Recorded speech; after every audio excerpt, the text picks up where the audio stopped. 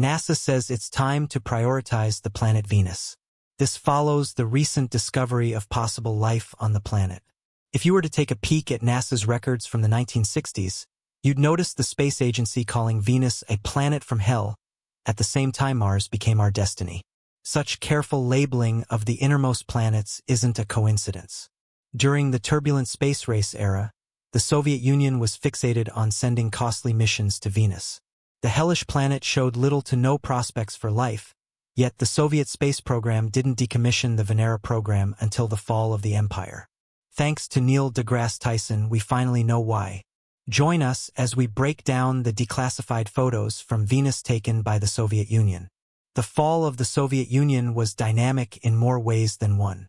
Not only did it change the geopolitical course of the world, but the loss of the empire also sank many secrets with it. It's not unknown that the Soviets had a deep affinity for secrets, from running the most advanced intelligence agency in the world to being hush-hush about their potential alien contact. The former superpower carries numerous mysteries within itself. Believe it or not, before the United States of America took over most of the planetary efforts in outer space, the Soviet Union was leading the game. While the empire has a long history of successful and unsuccessful space missions, its biggest fixation was on the inner hellish planet Venus. In the Russian language, you'd recognize Venus as Venera, and hence the subsequent name of the mission that spanned from 1961 to 1983. During the same time, the United States of America was busy sending its missions to the moon. So strategically, the Soviets decided to use their resources elsewhere. We can't say that the entire obsession with the second planet from our sun is an odd. Did the Soviets plan on using the planet's surface as a viable and unbeatable military base? Or were they possibly looking to colonize the planet after searching for any forms of life up there? It's quite difficult to say why the Empire was obsessed with the hellish planet. Since the Soviets commissioned these exploration voyages during the Cold War, they weren't exactly forthcoming with their aims and objectives. In fact, everything we know about the Venusian missions is due to unarchived and declassified evidence. Even then, it's hard to pinpoint what the Soviets were searching for and if they cracked the secret missions. Because, well, the Empire didn't land on Venus once, twice, or thrice, that's just elementary, folks. The Soviets launched 28 pricey spacecraft to the hellish planet, and 13 of those entered the Venusian atmosphere while 8 landed successfully. Such sophisticated missions had put the Empire in a leading position in space exploration initiatives. Sure, the United States of America was a close first too, but NASA was more interested in satellites and technological configuration than exploring life on planets. Its affection for Mars came later, so your history textbook might not tell you this, but the Soviet space program was the first agency to send a probe into the atmosphere of a planet other than Earth. It has another bunch of firsts on its resume as well. The USSR also became the first state to make a soft landing on another planet. It commissioned the first initiative that brought back images and sounds from the surface of other planets. Yep, the Soviets had their own moment of small step for a man, a giant leap for mankind that was well before the US. So how come we rarely get to read about such landmark missions? Very rarely. Remember what we said about the Soviet affinity for keeping secrets? Well, that's just one of the many reasons behind the censorship of the Soviet space program. Back in 1992, the popular agency was decommissioned in the aftermath of the USSR. As the agency had to be revived with its new Russian identity, Roscosmos, a lot of its archival data was either lost or destroyed. This is exactly why we don't have a clear-cut answer for why the Soviets launched 28 spacecraft into the Venusian atmosphere. But if we had to make the most logical guess, perhaps the Soviet decision to explore Venus was about cost efficiency more than anything else. This is not to say that the space program wasn't optimistic about the habitability of the planet. They were looking for sustainable water presence, intensity of solar radiation, and the overall temperament of the planet. Without a series of these space missions, it would have been next to impossible to gauge Venus's high temperatures and thick atmosphere. Of course, today many cosmologists don't believe that the hellish planet can support life. The temperatures up there are high enough to melt lead, and water is scarce. Plus, due to its thick atmosphere, the air pressure on Venus is 90 times that of our planet Earth. But these are quite recent and modern tidings. and to disregard the USSR's contribution to the study of Venus is equivalent to censoring history. As far as the Soviets were concerned, Venus was worth exploring, even if it was just about galvanizing the space race. You see, exploring more habitable planets like Mars wasn't exactly off the table, but it was more costly than probing into Venus. Everything just boils down to the distance from planet Earth to any other cosmological body. On average, the hellish planet is only 40 million kilometers away from our home, while Mars, on average, is 250 million kilometers away. Such vast differences in distance amount to drastic differences in the costs as well. If the United States of America wasn't the world's largest economy, it wouldn't have been easy to explore Mars. Other rumors on the block also suggest that the Soviet missions were unreliable and had massive technical gaps. Apparently, the spacecraft wasn't suitable to cover astronomical distances. Plus, the agency had a bad trajectory of losing contact with its spacecraft. So it makes sense why the Soviet space program was opting for a shorter and closer transit that would actually yield results. Yet, if we don't bring up the space race in this context, the story of Venera missions would be incomplete. The United States of America wasn't even on the space map when the Soviet program launched the first artificial satellite, Sputnik 1, in 1957. This particular maneuver had intensified the space tussle to maintain its hegemony. But what's really interesting is why the US had fixated itself on the moon in the first place. Uncharted territory aside, NASA had a series of failures with its Venus missions in the 1960s and so on. The U.S. Space Agency had found itself in a deadlock called the Venus Curse. Every time they launched a probe into the Venusian atmosphere, it went horribly wrong. This is precisely when the Soviet Union saw an opportunity to capitalize on NASA's failures. At that time, both the US and USSR were hell-bent on claiming the space race. The most logical venture was to steer away with two different options. It was a silent agreement. Very strategically, the Soviet space program took hold of the Earth's sister planet. For the agency, the biggest landmark in the space tussle was to do something that its competitive counterpart had failed to do. Despite the empire's limited resources and mismanaged government, it repeatedly sent missions to Venus to find its winning position against the U.S. As opposed to that, NASA had taken hold of the moon's mission. But of course, this strategic partition wasn't without hostility and propaganda. To cover up their colossal failures with Venus, the American agency was incentivized to defame the USSR's fixation with the planet. In Americanized popular media, Venus was dubbed as the hellish planet, while Mars became man's destiny. These connotations didn't matter to the Soviets, though. Their only objective was to show superiority to the Americans, and well, they weren't unsuccessful in doing so. The Venera missions are almost forgotten in today's history. However, despite their dated emergence, those missions were highly sophisticated, advanced, and ambitious. In fact, if we have to pick an event that marked the dawn of the space age, the Venera explorations will definitely take the lead. Back in the 1950s, the Soviets began to experiment with the design and construction specifics of the probes. And for the next 30 years, they kept building and launching interplanetary spacecraft as part of the Venera program.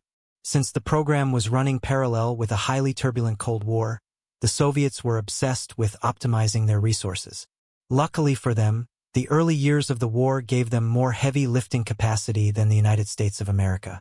That advantage proved to be super beneficial. Maximizing on their capabilities, the USSR started to build and launch bigger spacecraft that were designed to maintain high altitudes and vast distances the Soviets were quick to experiment with both manned and unmanned spacecraft. At the same time, the Soviet scientific community was working on a series of calculations and estimations to create accurate trajectories for the Venus missions. In the background, their Mars programs were also running successfully.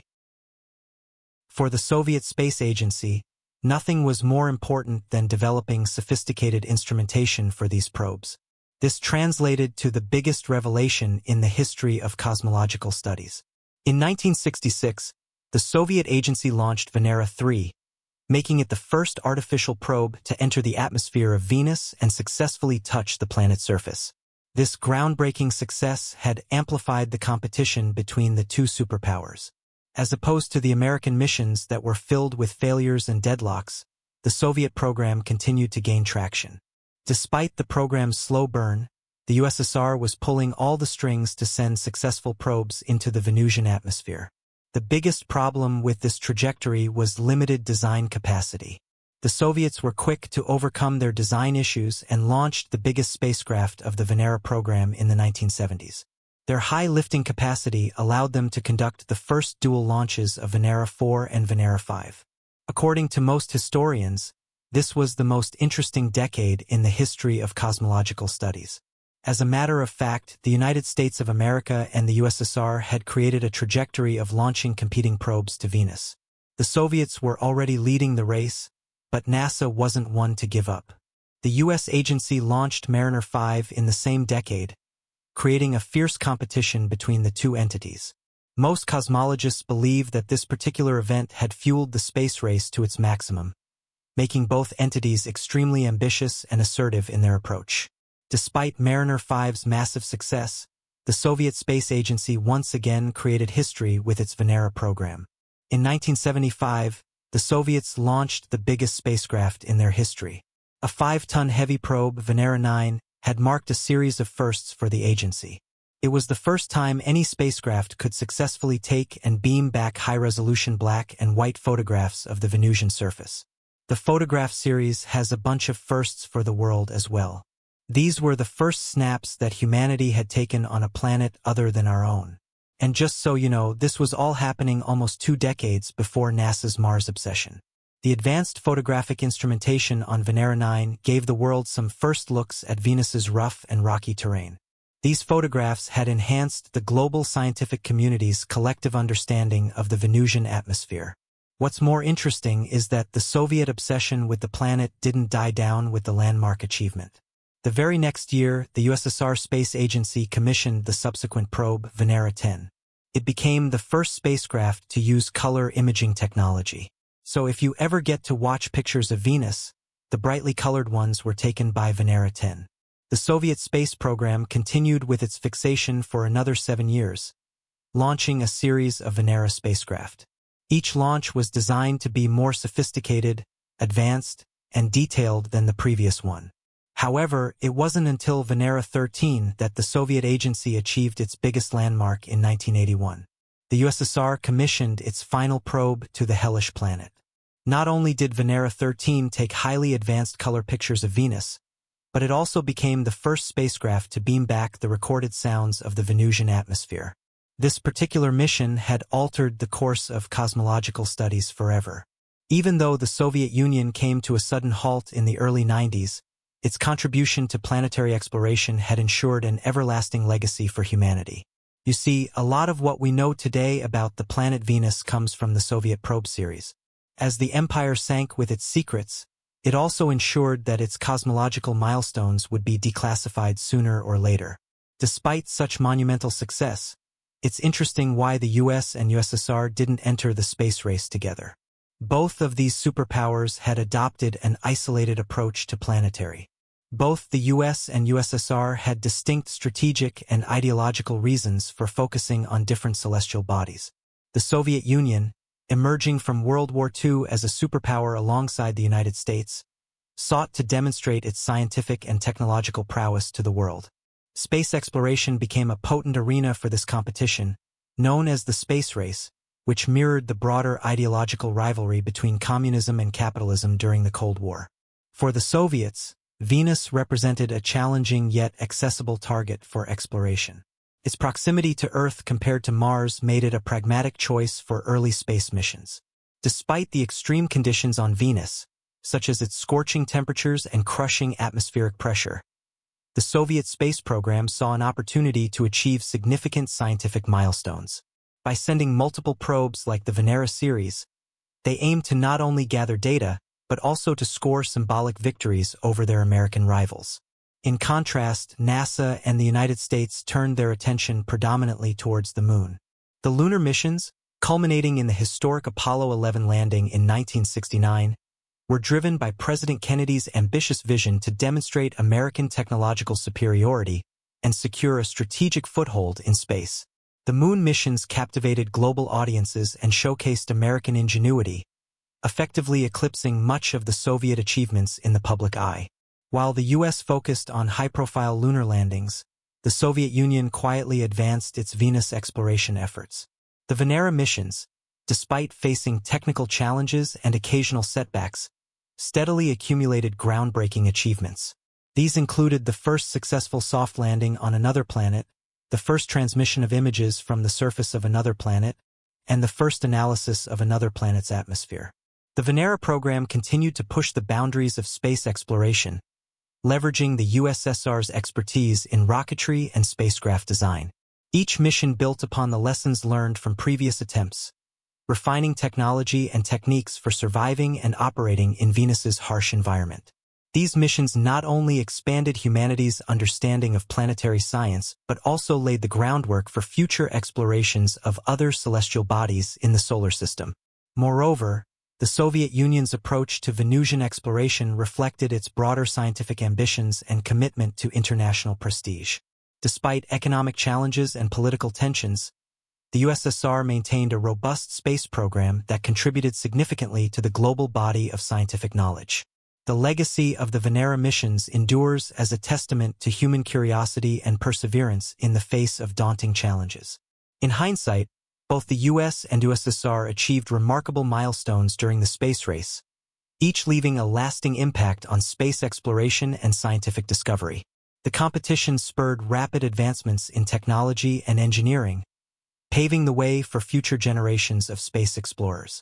Today, as new missions to Venus are being planned and executed by various space agencies, including NASA and ESA, the lessons learned from the Venera missions continue to inform and inspire efforts to unravel the mysteries of our neighboring planets. Thus, while Venus remains a forbidding and inhospitable world, the daring exploits of the Soviet Venera program serve as a reminder of humanity's quest for knowledge and our unyielding spirit of exploration in the cosmos.